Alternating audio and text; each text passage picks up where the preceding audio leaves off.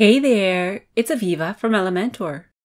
Today I'll show you how to use Elementor's Hotspot widget to create interactive designs for your website.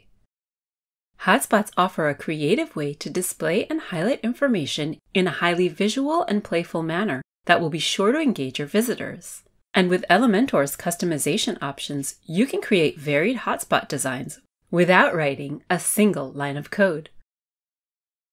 So let's get started. For this tutorial, we'll create this interactive hotspot design for a website about wines. From the Elementor editor, I'll go ahead and delete the existing hotspot widget by right-clicking Delete, so we can recreate it from scratch. In the Widgets panel, search for the hotspot widget and drag it into the content area. Great! The first thing you'll see is a placeholder image and a default hotspot. Clicking the hotspot displays a tooltip. Beginning with the image, click to select an image to use as the background of the hotspot and insert it. You can select the image size and alignment. Moving on to the hotspot section, let's set up the hotspot animation. You can see here that you have several options to choose from. I'll select Softbeat. By default, all the hotspots load at the same time on page load, but if you'd like them to load one by one, toggle Sequenced Animation On and set the sequence duration in milliseconds. We'll get to preview this at the end of the tutorial after we've set everything up. The Hotspot widget starts you off with one hotspot. To add more hotspots, you can click to duplicate any one, or click Add Item to add a new hotspot. Delete unneeded hotspots, like this. Click to expand the hotspot item, where you'll see its settings. There are two tabs, one for the hotspot's content and one for its position. There are several ways to design the layout of your hotspot. You can leave it on the default dot, as you see here, use a text label, a label together with an icon, or an icon on its own. To use a label, type in your text here. To add an icon to the text label, either upload your own SVG file, or you can use one from the icon library. Just search for an icon, select it, and click Insert. You'll then see settings for icon position and icon spacing. For our design, I'll delete the label text to display just the icon. Next, you can set a custom hotspot size by setting a minimum width and height. Note that this setting will apply only to this specific hotspot and only if there is text or an icon in the hotspot and not with a default hotspot. We will set the hotspot size in the Style section instead since we want the same size to apply to each hotspot. The hotspot can be linked to an external source or to a tooltip. To link the hotspot to another web page, enter a URL in the field below, or click the Dynamic Tags icon to link to dynamic content, such as a pop-up. Edit the link options here.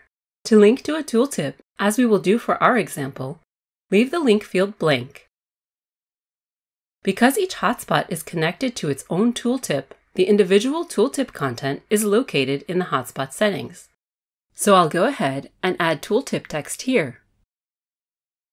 You can use the built-in formatting options or add HTML in the Text tab. Okay, let's check out the Position tab. You can position your hotspot anywhere you'd like by using the horizontal and vertical orientation settings. You can also drag the offset sliders to visualize the location, or type in a precise value. And, switching to responsive mode, you can see the hotspot position is fully responsive. The general tooltip settings are controlled below in the tooltip section. However, settings for a specific tooltip are controlled from here by toggling the custom tooltip properties on. Here, you can change this tooltip's position. The default position for desktop is great for this design, but this setting will come in handy when we make responsive edits, a bit later. We'll adjust the minimum width later from the style settings to apply it to all the tooltips. Toggle on to wrap the tooltip text. Okay, great. The first hotspot's content settings are all set. Let's duplicate it to create a second identical hotspot. All our settings have copied over, so we only need to update the tooltip text and hotspot position.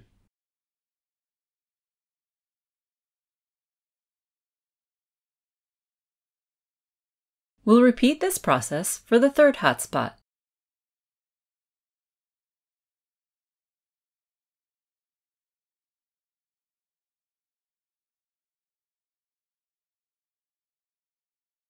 Okay, great. Now expand the tooltip section. By default, the tooltips will be aligned to the bottom of the hotspot, but you can change this. Just keep in mind that changes to the tooltip position from this area will only apply to hotspots that do not have the custom tooltip position settings applied. Next, choose the tooltip trigger. As you've already seen, the default trigger is set to display on click. You can also change the trigger to none to always display your tooltips, or hover so they show when moused over, as I'll do for this design. Below that, you have several options for the animation, as well as a setting for the animation duration. Okay, great. We've completed the content settings, and we're ready to move on to the styling. You can adjust the width of your background image, as well as the maximum width and height. You can also adjust its opacity. And use CSS filters to add some interesting effects to your background image. You have several border options for the image. You can also add a shadow. Next, we'll style the hotspot. You can change the color of the hotspot from here. I'll leave it on the default. To change the size of the hotspot, drag the slider or type in a value. If you're using a label for the hotspot, you can adjust the typography and the minimum width and height of the background box. You can change the box color, expand it by adding padding, and round the corners by adjusting the border radius. You can also add a shadow. In our design, we don't have a background color so I'll change the color setting to transparent. Our hotspots are coming along, and now all that's left to style is the tooltip. Set the text color and typography.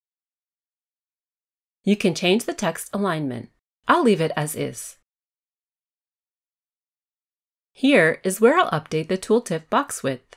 If you recall, we did not adjust the width in any of the custom tooltip settings, so this setting will apply to each of the tooltips. Next, I'll add some padding around the text. You can change the background box color, but I'll leave mine on the default. You can also add a border radius and shadow to the tooltip box if you'd like. Okay, these tooltips are looking great. Now all that's left is to make sure the hotspots are optimized for responsive viewing. Use the keyboard shortcut Command or Control Shift M to enter responsive mode. The hotspots are perfect on tablet, but this tooltip gets cut off. So let's adjust the custom positioning for this item. I'll go back to Content and select Hotspot, Item 2, and change the position of this tooltip to right. I'll also go to the General Tooltip Content settings and set the trigger to click. Since there's no hover on tablet. Looks good. Now I'll switch to mobile. It's inherited the tablet settings, so the custom position still works here, but the tooltips get cut off. Let's make some adjustments to the styling.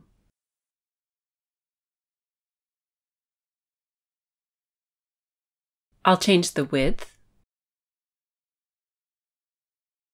the padding. Perfect. And now for the moment of truth. Go back to desktop view and preview. Cool. The hotspots appear in sequenced animation with elegant tooltips that display when hovered over. And there you have it. You now know how to create and style your own hotspots. Whether you use them playfully or in a more practical manner, I know your creativity will shine through. How will you use the hotspot widget? Let me know in the comments below. I can't wait to see what you come up with.